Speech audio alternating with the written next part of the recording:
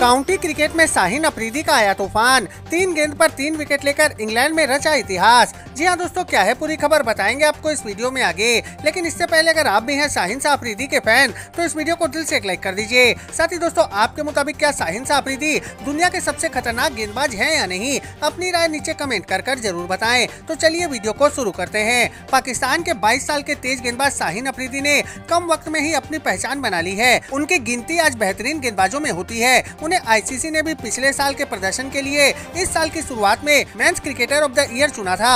शाहीन ने हाल ही में ऑस्ट्रेलिया के खिलाफ घरेलू सीरीज़ में दमदार गेंदबाजी भी की थी। उन्होंने तीन टेस्ट मैचों में नौ और फिर लिमिटेड ओवर सीरीज़ में कुल आठ विकेट झटके थे। इस सीरीज़ के बाद शाहीन अफरीदी इंग्लैंड में काउंटी क्रिकेट खेल रहे हैं और वहाँ भी इस पाकिस्तानी गेंदबाज का प्रदर्शन अब तक शानदार रहा है। मिडिल सेक्स के लिए काउंटी डेब्यू में चार विकेट लेने के बाद शाहीन ने काउंटी चैंपियनशिप में के खिलाफ डिवीज़न टू के मैच में तीन विकेट हासिल किए। इस दौरान वो एक वक्त हैट्रिक लेने के करीब थे, लेकिन इस उपलब्धि को हासिल करने से चूक गए। दरअसल काउंटी क्रिकेट में मिडिल सेक्स के लिए शिरकत कर रहे अफरीदी ने टीम के लिए पांचवा ओवर डाला। उन्होंने इस ओवर की पहली गेंद पर लिसेस्टर सर के सलामी बल्लेबाज हसन आज़ाद को अपने कप्तान के हाथों कैच आउट करवाया। अगली ही गेंद पर लिसेस्टर शहर के कप्तान कॉलिंग एकरमैन को भी उन्होंने शून्य पर बोल्ड कर दिया। लिसेस्टर शहर को शुरुआती दो बड़े झटके देने के बाद अफरीदी चैंपियनशिप में अपनी पहली हैट्रिक की दहलीज पर खड़े थे। लेकिन वो लुई किम्बर को आउट करने से चूक गए।